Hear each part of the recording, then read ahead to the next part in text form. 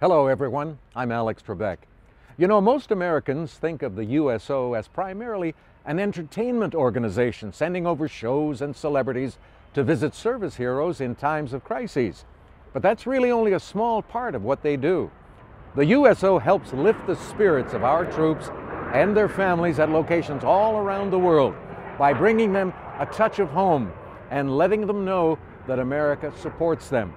If you'd like to learn more about the USO and the ways in which you can help, please visit uso.org.